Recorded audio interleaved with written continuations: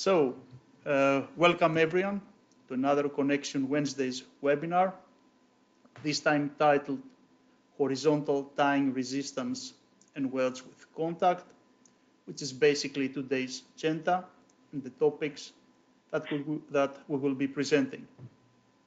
Last year, we did a survey in the UK, and these two features were among the most requested ones by our users. And so we delivered them in version 22.1. But first things first, before we move on, let's do the introductions. Uh, presenting today is me, Kostis Hadjopoulos, the technical manager of Idea Statica UK office. And together with me, I have Ralph Pullinger, our product engineer from the Idea Statica headquarters, and also Marios Theokaropoulos, uh, support engineer also from Idea Statica UK office. Uh, during this session, all of you will be muted. And right now, you should be looking at this dialog called the control panel, which you can move around by grabbing what we call the grab tab, which also contains some icons to minimize it. Raise your hand for uh, questions. There is also uh, another pane, which we call the questions pane, where you can enter your questions. And my colleague Marios will be collecting them and uh, we will answer them at the end of the webinar during the Q&A session that we have. Lastly, uh, it's good to know that this webinar is being recorded and it will also be uploaded into our uh, .com webpage. And before we move on to the webinar, let's warm up uh, with some polls we have prepared to learn some things about our audience. And before I open the polls, uh, I will ask uh, my co-presenters to deactivate the cameras.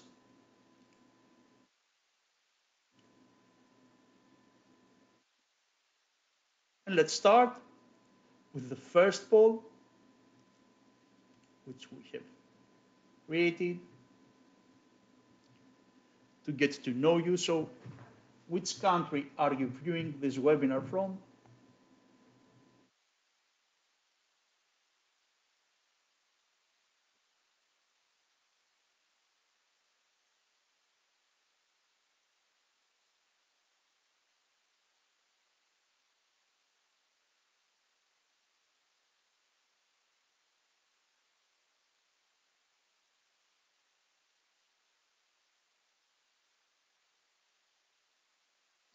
Okay, I'm leaving it for five more seconds.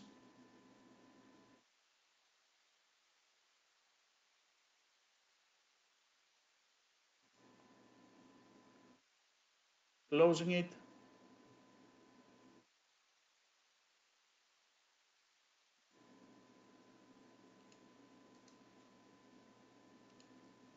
Let me share the results with you. So uh, basically, we have a lot of people from uh, the UK, which was something we expected, but also there is a lot of interest from Europe and from the rest of the world. Uh, did you expect this, Ralph? Looking at the registrations beforehand, then yeah, it's uh, that's definitely um, definitely what we expected. Really was going to be a global event, so that's great to see. Good. So I'm hiding this and I'm moving to the next poll. Uh, so to see how many of you are familiar with what we call robustness checks contained in the corresponding uh, codes that are applicable to your region.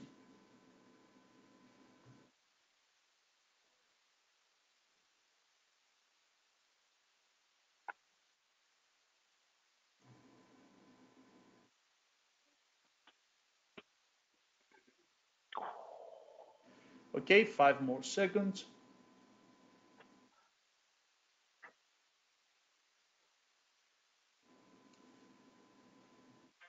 Closing the poll.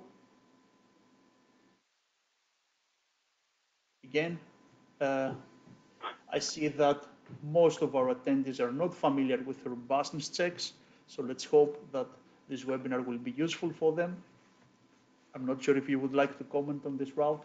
No, it's it's a pure, it's a uh, statistician's uh, dream. That is 50-50. So uh, that's about uh, that's what you would expect generally. But uh, I was I would have thought maybe we should have had a little bit more that are familiar. But uh, no, we'll we'll see how it goes with the rest of the presentation, and hopefully we get get more familiar with the robustness checks.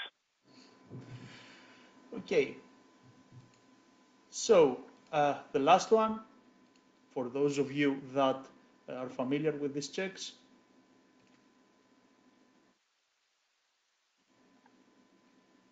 uh,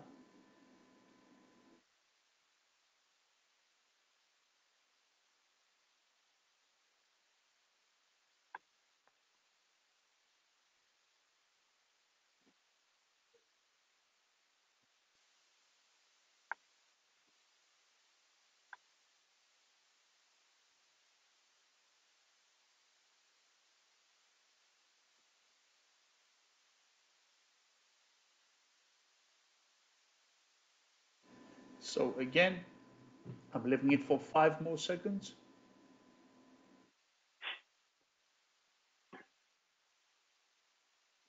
So closing it, I will share the results with you. And uh, this is basically that what I was expecting uh, based on what we saw earlier. So we have some people who often perform these checks, probably from the UK where these checks are man mandatory. Uh, but uh, the other half are hardly ever uh, performing the checks or not at all. Uh, I'm not sure if you also want to comment on this, Ralph. I, I, I, think that given the, the global spread of the audience, I think that, that that's about right, actually. I mean, 50% of um, uh, attendees are doing some form of robustness checks which is what I would hope to expect given the um, the spread of the, uh, the, the locales of from the audience. So yeah, that that feels about right. That's quite good. Okay, so let me hide this poll, and without further delay, let's jump uh, into uh, the introduction for uh, the tying checks uh, so in version 22.1 of Idea Statica, we have introduced this new type of analysis called the horizontal tying check, which is basically uh, commonly performed in the UK, and its purpose is to prevent the disproportionate collapse of a structure in the case of an unexpected event like an explosion, a vehicle impact, or any other event that could happen during the lifetime of a structure. Uh, before we move on, it makes sense to have a look at the events that led to the concept of tying check. So basically back in 1968, Ronan Point, a 22-story building, partially collapsed just two months after it had opened. The collapse happened following a gas explosion that took place in the 18th floor of the building. And this explosion blew out the load-bearing flank walls, which had been supporting the four flats above. The outcome uh, of this unfortunate event was that four people died and 17 were injured. So in the aftermath of this tragic event, the relevant legislation changed to cover what is now known as disproportionate collapse. In principle, this means that the building shall be constructed so that in the event of an accident, it will not suffer collapse to an extent disproportionate to the cause. Uh, in the context of the Eurocodes, uh, avoiding disproportionate collapse is part of the strategies defined in Eurocode 1991-17 and for limiting, for limiting the extent of uh, localized failures. The structure that has the ability to limit localized failures is considered to be able to provide what we call structural robustness, or the ability to withstand accidental effects like fire, explosions, etc., but without being damaged to an, to an extent disproportionate to the original cause. The tying check provided in Idea Statica is part of the generic strategies for designing structures for accidental actions, and specifically they're based on limiting the extent of localized failure. To achieve this, we're applying prescriptive rules that guarantee the structural robustness of the structure. These rules are defined in Annex A of this Eurocode part. Now, according to this annex for steel buildings, the designer needs to classify the structure into a consequence class, basically found in this table. And this is very important because this consequence class defines the design rules that must be applied on the structure, member, or even at the connection level. This process is quite straightforward if one follows the provision of Annex A. Basically, the code requires the introduction of members that are called ties with the sole purpose of supporting the damaged areas of the structure by enabling what we call catenary action to develop and, and also by holding uh, the columns in place. Note that depending on the structural classification, the loads can also be redistributed both vertically and horizontally, like in the bottom figure. Idea Statica connection can deal with both cases, although we call the analysis horizontal tying. For a minimum level of horizontal tying, specifically for uh, connections, it is recommended that all floor beam to column connections should be designed to be capable of sustaining uh, at least a tensile force of 75 kilonewtons. It is also important not to combine this tying force with the effects of other actions.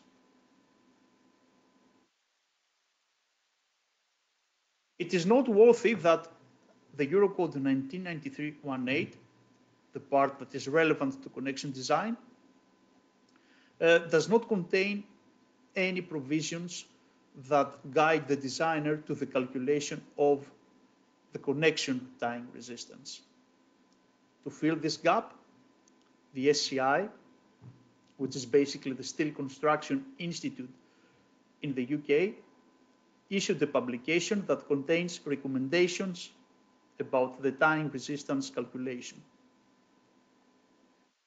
The main differences with the stress strain calculation already contained in idea statica is that since large strains and large deformations are acceptable, the calculation is now based on the ultimate tensile strength and also on a modified partial material factor used for tying that is now gamma mi ultimate 1.1.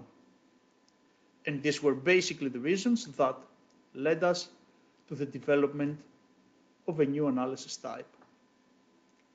For more details on the implementation side of things, I will pass the presenter to Ralph, who will show you, uh, who will demonstrate uh, the use in uh, IDEA Statica. So Ralph, I'm making you a presenter.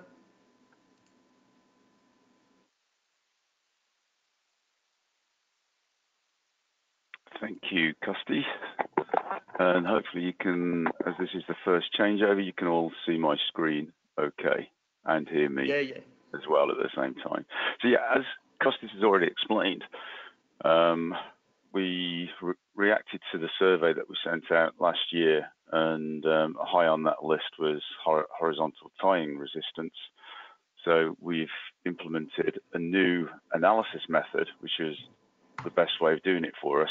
And quite simply, we've we've just called it horizontal tying. Um, some of the restrictions on this, it's only available for Eurocode at the moment, as that's where we see most of the um, requests coming from. Um, only one member at a time is analyzed uh, with only one load component. And from a licensing perspective, this is only going to be available from IDEA Statica Enhanced onwards. Um, so it is relatively, I mean, it, it's it's very straightforward to implement or to start the uh, the analysis method. It's just like changing from the normal stress strain to capacity design or fatigue or, or fire even. So really easy to get started. In this webinar, what we're going to uh, look at initially um, are two worked examples from what is known as the Green Book, although confusingly there are two Green Books. Um, so we're going to be using both today actually. We're going to be using the simple joints um, and then we're going to be using the moment um, connections um, in the last example for, um, for when we discuss welds with contact. Um, if you would like to follow along or to recap these, uh, we're going to be looking at the full depth end plate beam to column, which is uh, design example two on page 102. And we're also going to be looking at a slightly more complicated design with fin plates and a hollow section um, as design example three on page 158. So um, it feels like I'm giving sort of like Blue Peter examples instructions at the moment, but uh, just thought it'd be useful to give you some background as to where we're um, we're actually approaching this from, and it also helps us because it helps to also um, provide us or or we can provide examples of the, these validation um, examples which many people go to to uh, to compare and contrast.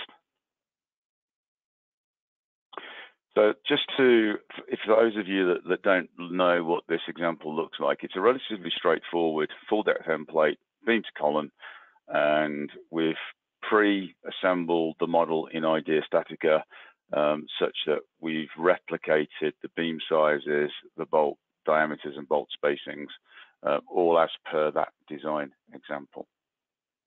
And to make uh, things a little bit easier for me today, this is a um, it's a, it's a pre-recorded video, uh, which is one of the reasons why you you might see a, an enlarged uh, mouse cursor but uh, don't let that worry you. Um, as I said, we've already set up the model and all we need to do to, to start with is just to add our tying force of 350 kilonewtons in as the axial force. This is the only thing that is being checked at this moment in time for this calculation method. Calculation doesn't take that long to do. Admittedly, it's a relatively simple um, simple case but enables us to look at what's happening with the connection with regards to the, the strains uh, and the stresses that are being developed from this tying action. And we can even look at the the bolt forces. So everything that is that is available um, that you're used to in the um, in the calculations with Idea Statica are still available within this um, calculation method as well. So we can look at the bolt forces, um, and the results for the bolts as well with regards to how hard they're actually working. Same goes for the welds. Um, so we get a, an idea as to um, how efficient the um, the connection that we've already designed is is working under this horizontal tying uh, necessity. But one of the interesting things that we, we we're able to do is if we are if we look at the the mesh uh, view and the deform view, we can get an idea as to how the column behaves under the effects of that horizontal tension. And this sort of indicates, I guess, what that dominant um, mechanism is going to be with regards to the uh, the horizontal tying effects um, in that particular connection. So if we were to compare the the guide, the SCI guide, with what we've actually looked at in IDEA Statica, um, the SCI utilization ratio is, is roughly, I say roughly, 67.7%. Uh, That's more than rough, actually. That's quite accurate. Um, whereas in IDEA, we were actually reporting a 76.5. Um, could be several reasons for that, really. Um, maybe minor differences with the um, the modelling, maybe a simplified approach with regards to the um, SCI guide, but we're getting really good correlation of, of just under 9% um, difference, which is quite good, to say the least, in my opinion. The second example that we're going to be looking at today is slightly more complicated, um, and it's the fin plate um, with two beams um, of different depths to a, a hollow section. And this is, um, again, using stiffening plates with welds and bolts with contact, or sorry, bolts not with contact, just bolts. Um, and we're setting that up again as per the, the example in the guide.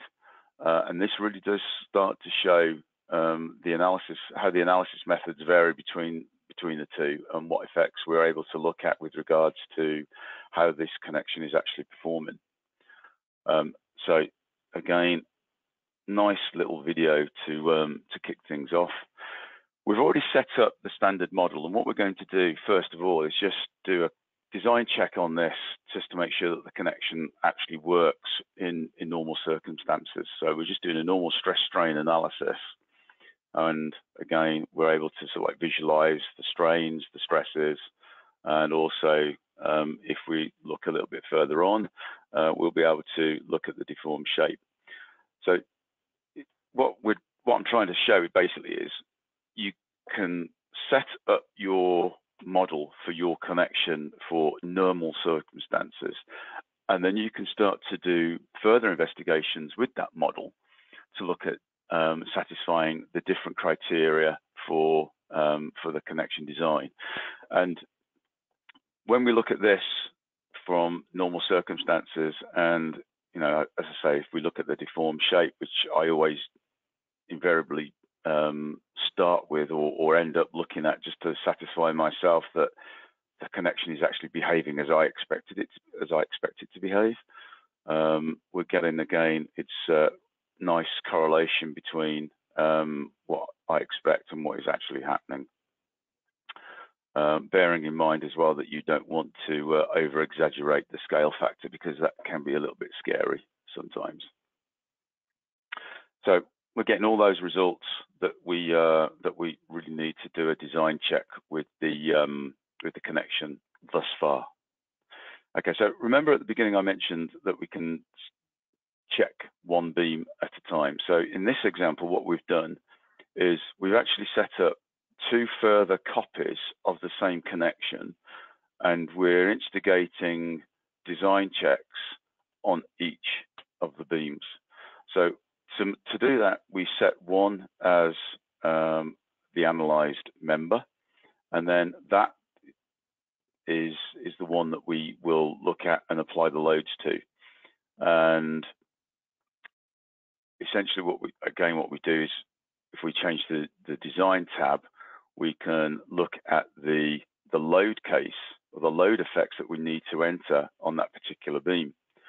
So again, if we just look at um, B1, we've set that to be analyzed, which I mentioned.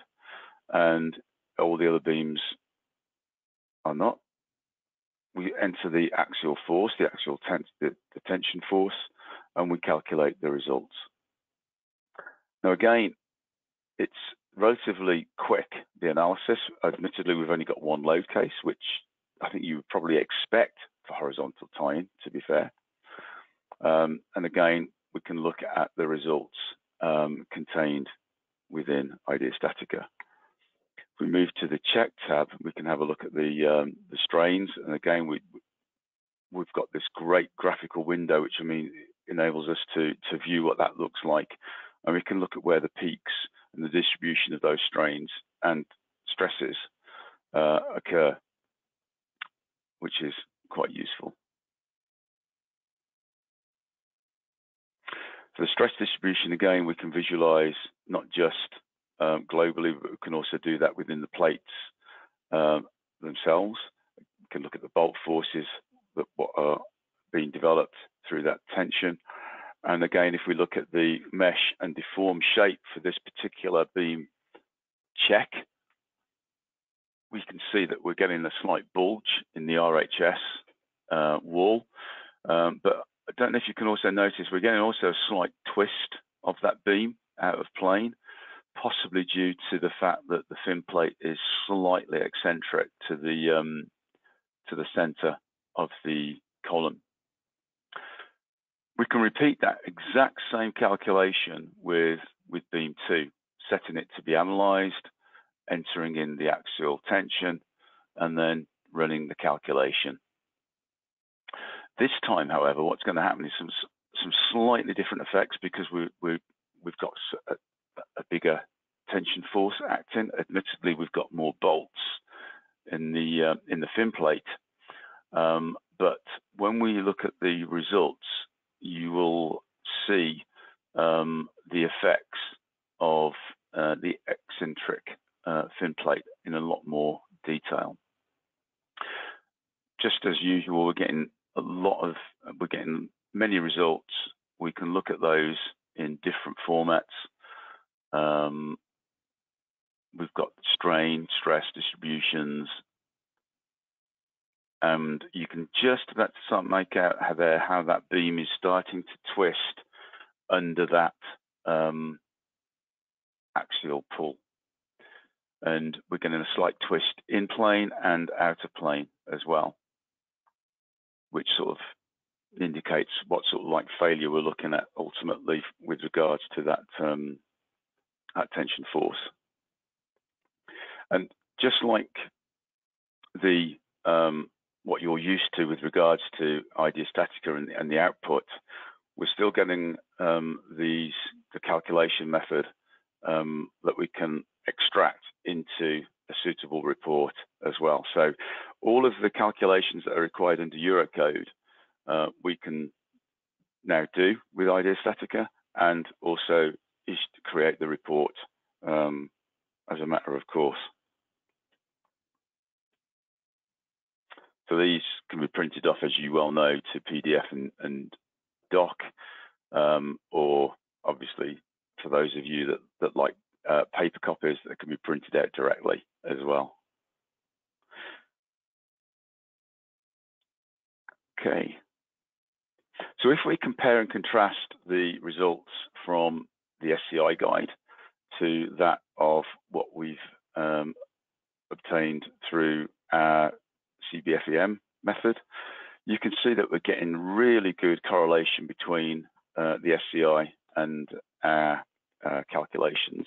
So as low as just over 2% difference between the two methods, which is, I think, really sort of like validates the approach that we are um, that we're using here. And again, it's um, it'll basically satisfy fully the the, the, the criteria um, for for Eurocode, certainly within the UK and, and ultimately further afield as well. So with that, what I'm going to do is I'm going to pass the um, uh, presenter back to Kostis, and he'll take you through the um, the next part of the presentation. Thank you. Thank you, Rob. That was excellent. Uh, So uh, let's move on to the next half of our webinar, where we will discuss another new features in IDEA Statica version 22.1, and this feature is welds with contacts. Now, the reason that we had to implement this in the first place lies in the requirements of the SCI guides for the so-called bearing column bases under compression, and specifically the way that their welds are designed.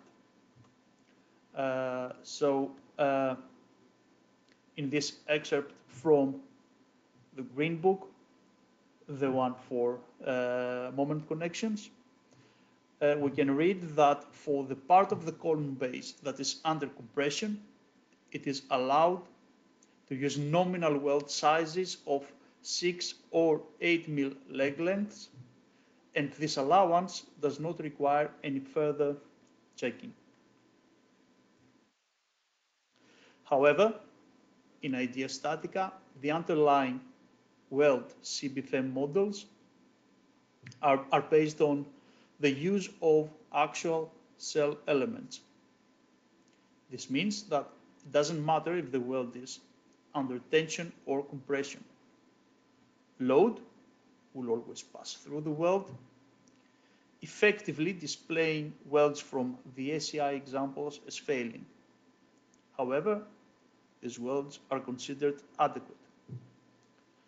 And since no checks are uh, presented in the SCI guide, uh, so that we could implement them and uh, prove the welds pass the checks, we had to work around this limitation by allowing uh, welds by, by allowing welds to have contacts.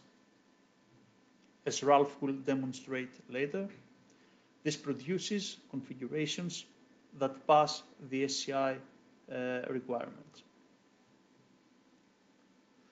Uh, before we move, we'll move on and demonstrate how to use them in IDEA Statica, uh, and, uh, one warning is that care should be taken from the designer as this decision has an impact to the fabrication process. The SCI guide assumes that the precondition for using this allowance uh, is basically a member with a sawn end, which must be cut perpendicular to its axis with a good quality saw. And of course, this must be done in a proper working order. Only then this design rule is considered adequate. This means that the fabricator must be capable of performing this operation in a satisfactory way in order to be able to use these allowances. So I'm passing back the presenter to Ralph, who will demonstrate the implementation details and also take over for the rest of this webinar.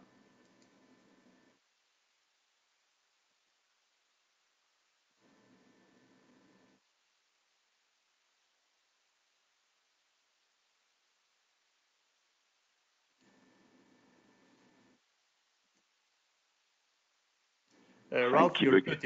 Yeah, yeah. Thank, thanks again, Costis, and uh, welcome back. You're welcome. So, yes. So, what we've had to do to um, negate the the um, the weld limitations is to create a new option for the weld operation, and that is um, contact. It's, this only really applies when we've got surfaces in compression. And some of the criteria there is, or the biggest criteria is there that must be no gap between the plates and the um, and the and the member in question, the column, if you like. Um, so once that's satisfied, what what the engine allows is the weld to yield a small amount for that contact to develop, although the weld continues to transfer shear and tension as I said at the beginning, confusingly, there are multiple green books, and the example that we're going to be looking at is taken from the um, moment connections book, and we're going to be looking at the base plate connection from Appendix C on page 142. Just to recap, it's a relatively simple uh, base plate uh, with a nice uh, column on a bearing on a base bolt distribution as described where you see and all we've done to the base plate is we've just added that contact operation from the column to the base plate for the second part of the example. So it's a relatively straightforward example, this one, because all, all I'm going to do is compare and contrast um, what we used to be able to do uh, with this example, um, which is essentially look at a welded column to base plate and one loading condition, slightly more, um, slightly longer calculation, but interestingly, um, we're seeing, you know, a, a weld failure, uh, and most people, when they look at this, is that they they they they question um, why we're getting a, a weld failure when we are purely uh, applying a compression force, um, admittedly with a little bit of uh, shear and moment, um, to the base plate. And what we've had to do to um, to negate that effect is to introduce this welds with with contact option uh, for the operation. We are able to look at the um, all the checks. We look we can look at the concrete distribution stress as well under the base plate. Um, so access to everything. So in this second example, which we're going to do, we've just applied the contact from the bottom of the column to the base plate. And you'll see it's a much faster um, run through the calculations. And in this instance, the welds are actually passing. And what the welds are now taking is purely the um, the tension and the shear from the other effects, and the compression effect is taken out through the contact. And we can look at the, the stress distribution within the plates, within the base plate, and we can also have a look at the stress in the concrete, which is a slightly better distribution than it was before.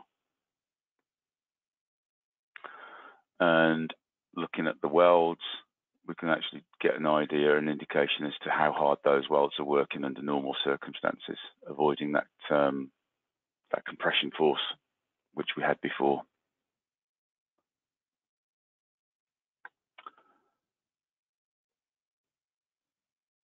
So as I saying, it's a nice, relatively easy example, that one.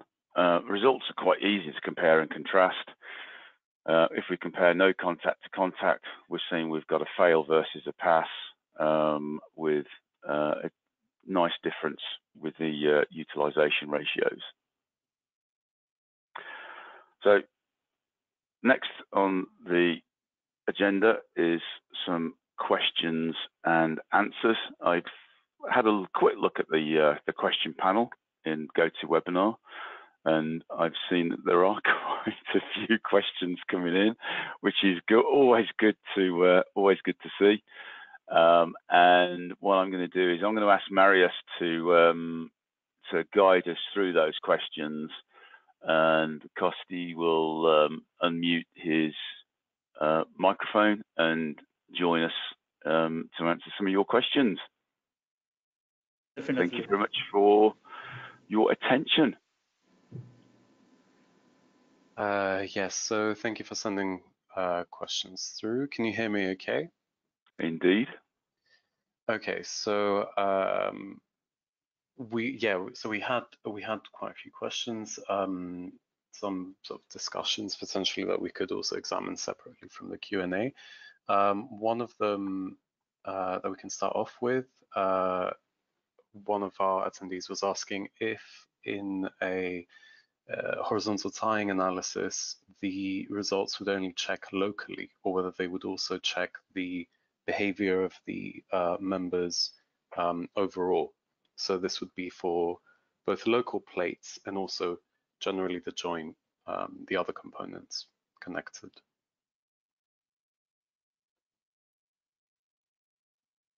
Is that this is, um, oh, I, I, have provided an answer to this. Uh, my understanding of the question was whether they would only, for example, if you go to, you know, the example that you had um, demonstrated previously with the column and the beam connected to the web of a column.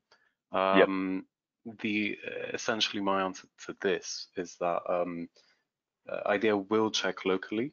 They, it will check the plates, but it will also check the responses the of the column overall. So as a reminder, uh, when you switch to a horizontal tying analysis, all other uh, member ends will be simulated as supported as fixed. So the uh, the reactions at those uh, locations will be calculated as part of the, uh, of the simulation. You won't need to uh, distribute or, or sort of um, set the forces yourself. Um, so, uh, you know, I, I, that's my understanding of it. You can, if there's anything you would like to add to that as well, please do. No, I, th I think that's that that covers it very nicely, actually. Um, um, I'm going to thank you now for um, watching those questions come through as well. Yeah, so Kostis, anything to add? No, no, I think that uh, uh, Marius covered uh, the question according to my understanding. Yeah. So, uh, Marius, you can move to the next one. Um, there's one, there are sorts of related questions, and this might be an interesting discussion overall. Um, so one question, another question that we had was um, uh, regarding the eccentricity of the loading relative to the other components, whether this should be something that um, is considered, uh, whether it's something that we could somehow counter. I would, um, I, I think the way I understand this, if we somehow try to exclude the impact of the eccentricity. So as a reminder, again, if you have a fin plate connection, for example, it's asymmetric, it's going to have a small eccentricity that will have a, a, a unfavorable impact on the uh, behavior of the joint. It could lead to a, a sort of, you know, a, more uh, substantial loading for some of the components and some failure. That is I would contend the point as well that you simulate this these eccentricities so that you can um, establish the joint response uh, more accurately. Um, the, the question is, is this something that should be uh, included? Is this something that should be simulated?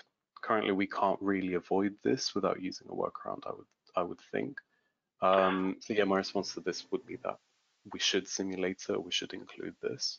Um, and the related question is, um, haven't had a chance to answer it yet, but um, high tying forces lead to failure in minor axis bending of the supporting beam and whether there's a way of restraining the supporting beam to prevent the bending failure and just assess the local effects. Um, uh, I believe you can do this with the restraints. Uh, yeah. I'm not incorrect with that. So you could use this a newer feature in uh, IDEA Connection where you can you can specify some restraints on uh, one or more plates. In, yeah, that's that's correct. I mean, I, I take the point about the eccentricity, and, and you can negate the effects, but it, what you would need to do is either move the the point of um, point of load so that it is directly in line with the uh, center of gravity, or you would provide another plate the other side to balance out the um, the effects. But the trouble with that is, um, what you're you're you're you're compensating for something that doesn't that you don't really need to, because the, the whole point of this is what we're doing is a, is an in-depth analysis of the connection and in respect to the tying forces, as per the connection layout. And yeah. that's yeah. that's really the whole point of why we're using this method to validate in depth the um, the actual connection and the the Eurocode requirements. Yeah, Um, I, I think uh, I agree with that as well. That was my uh, my understanding of it. it, I mean, I would not. I mean, this this goes back to. I mean, just to make it fit better with the guide doesn't mean we should actually simplify the connection to make that to make it fit. Um, I firmly believe you and you analyze and you check what you've got, um, and you know the only the only reason if you, if you were to add another plate to the other side, you're complicating the erection, you're adding more cost to the to the connection as well. It, it just doesn't make sense. You might as well check what you've got and and go with it.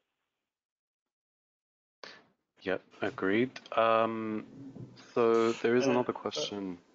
Sorry. Yeah? Sorry, Oh no no, it's okay, it's okay, it's okay. It was not something. Well, I was. I was thinking I could ask another maybe question for tying, and then we could move to one for uh, the um, uh, compression um, compression only welds. So one other question is, how do you produce the tying force? Essentially, how do you acquire the horizontal tying um, that you need to consider?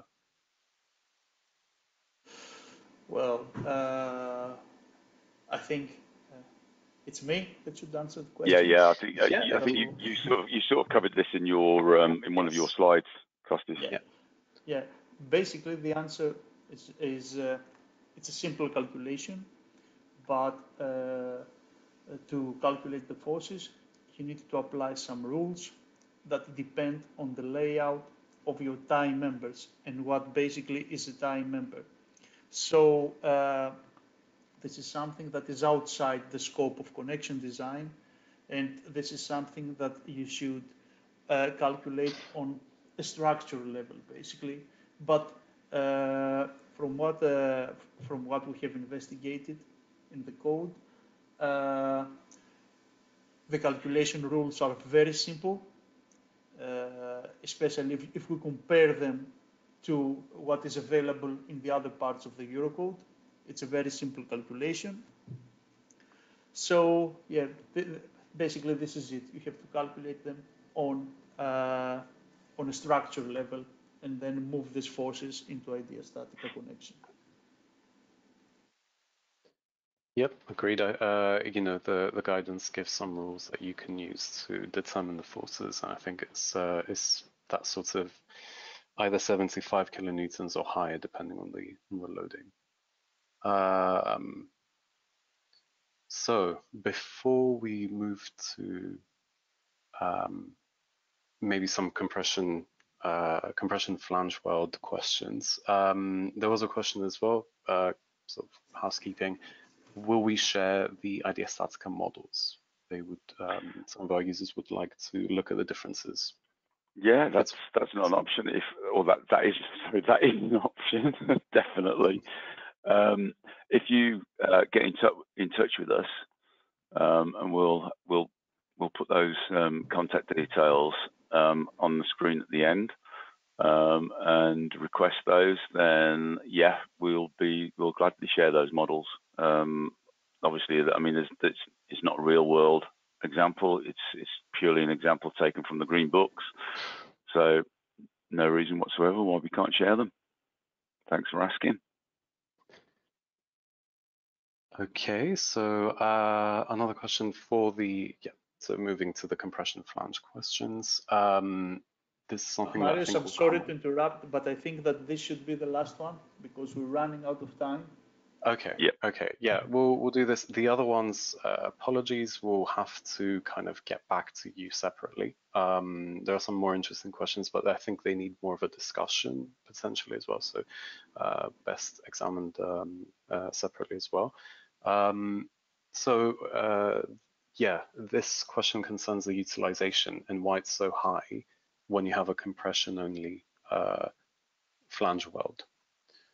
Um, so the, the, the sort of short answer to this is that um, essentially you need to have some movement um, to then simulate the compression at the, say, flange or whatever interface is, is welded. And that requires, uh, that uh, leads to some, um, some yield in that flange weld uh, or whatever weld, whether it's at the web as well. Um, I don't know if there's anything you'd like to add Um, yeah, I mean, that particular example as well, I was also taking shear. So although the weld yields to create that contact to the compression force, the shear components still need to be taken by the weld, which obviously can lead to um, to those can lead to to those stresses as well.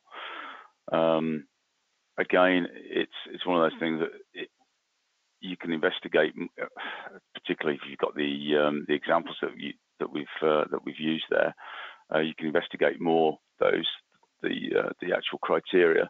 But um, what we're actually now showing in the um, in the, the weld format is the is an arrow to indicate what what direction the weld is is being used in. Um, so I, I think the important thing there is that to reiterate is that the weld yields slightly to develop the contact between the member and the plate, but the weld continues to take any tension um, and shear effects from the other load effects as well. Yeah. Uh, yeah, it's important to kind of consider how, in in reality, even a, a sort of paper thin deformation would lead to uh, quite a bit of um, stress in steel. So um, yeah. there's that kind of consideration as well. And, and I guess the uh, one last thing before we move on to um, to close out the webinar as well is the is just reiterating that that operation,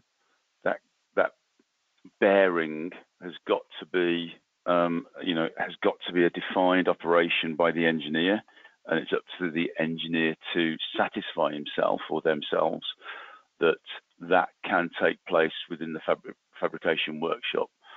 Um, if you specify it and it's not constructed, then um, obviously you're going to have a weld there that is going to revert back to um, to a non-contact situation um, which will again lead to or could lead to um, to failure. Yeah, yeah, and don't confuse utilization with uh, UTC, which is the full capacity yes. of the weld, which also is an important consideration as well when you're designing the welds in uh, in IDEA connection. Okay, so I think uh, those are all the questions. Then we can uh, take a look at today. Okay, thank you very much. Well, as, as Marius has said, that the questions that we haven't been able to um, address or those that are going to require a little bit more discussion amongst ourselves, um, we'll um, yeah we'll we'll get back to you individually based on the um, on your questions. So uh, thank you very much for those questions. That's uh, a lot, and uh, it's it's nice to see that we're we're we're having an impact with regards to the features that we're providing. So just to reiterate the um, the recording from today's webinar will be available shortly um, from tomorrow um, on YouTube from the uh, Idea Statica channel, and you will all get a um, a short survey at the end. Um, and if we'd be grateful if you could fill that in to make sure that we're we're hitting the right spots for you, uh, making sure that our webinars are instructive as well as uh, giving you the right information. And for those of you that aren't already Idea Statica customers, um, you can get a free trial with all of the features contained in uh, the new version, uh, no limitations, from our website at www.ideastatica.com. And one, um, I guess, quick, um, the best email to request the uh, verification examples from would be what would be the best email to use, guys? Maybe your email, Ralph. thank you so much. Okay, right. So if you want to have the verification examples, if you would like to email me, which is ralph.pullinger at ideastatica.com, and in the title of the email, uh, which will help me enormously to um, to filter out and to respond, if you can put verification examples as the title for the email, then I will send you a short email back with a zipped attachment and um, yeah, feel free to use them. Um, so that's Ralph dot Pullinger. That's R A L P H dot P U L L I N G E R at ideastatica.com and verification examples in the um, heading. That would be great. So, um, from all of us here, I would like to say thank you to you all for joining us today. Um, and just to end on, let's calculate yesterday's estimates. Thank you very much for joining us today. Thanks, everyone. Thank you.